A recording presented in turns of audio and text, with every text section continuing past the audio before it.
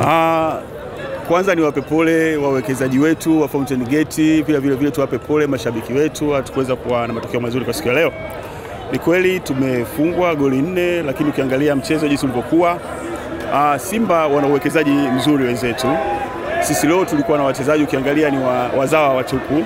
Tunao wachezaji wetu wengine ambao wangekuwa pamoja na hawa kwa sababu tulisha treni vizuri na tulikuwa na mifumo yetu na kila kitu eh, kilikuwa kimeshakaa sawa na tulikuwa tuna first 11 ambayo tunaitegemea kabisa.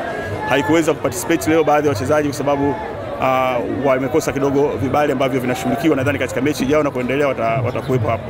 Kwa hiyo ile hali ya kuingiza maingizo mapya katika ile timu ya first 11 kuna baadhi ya sehemu walikuwa kidogo wengine wana- wanachelewa kuyatekeleza yale majukumu tuliokuwa tumepeana katika kikao cha asubuhi wakati tunapeana maelekezo ya game uh, tulipeana maelekezo, lakini kuna sehemu kuna wachezaji walikuwa kidogo wanajisahau. Tumejaribu kuwakumbusha, lakini naona haikuwa bado haijakaa vizuri kwetu.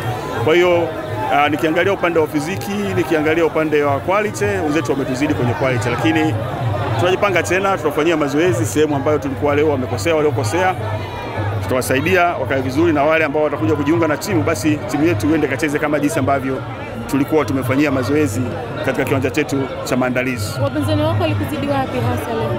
E, kama nilivyozungumza kwamba wenzetu wana uwekezaji ambao una quality. Kwa hiyo unakuta kuna sehemu ambazo mchezaji mmoja mmoja anatakiwa aweze kuamua kwamba situation hii, pamoja na kwamba mwalimu amenieleza hivi, hapa naweza nika, nika improvise nikatengeneza kitu ambacho kikatoa eh, timu katika nafasi moja kwenda nafasi nyingine, lakini sasa utakuta kuna wakati sehemu nyingine mchezaji anaona kabisa ni sehemu ambayo sio ya kucheza uh, karibu, anaweka pasi ya karibu, mara imenasa na vitu kama vile. Tumejaribu kuwaeleza eleza, lakini hatuwalaumu. Hawa wapo katika kufundishwa.